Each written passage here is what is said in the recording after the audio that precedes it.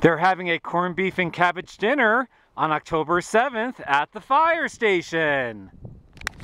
Not too shabby!